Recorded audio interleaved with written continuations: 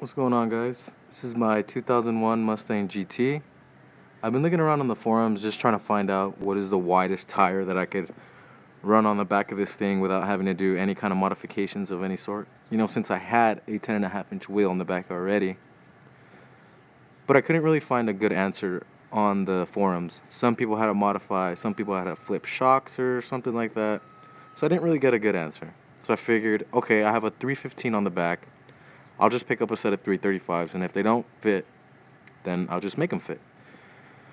But here's proof that a 335 Michelin Pilot Super Sport fits just fine on a 17 by 10 and a half inch rim on a 99 through 04 New Edge. Well, at least 01, the year I have.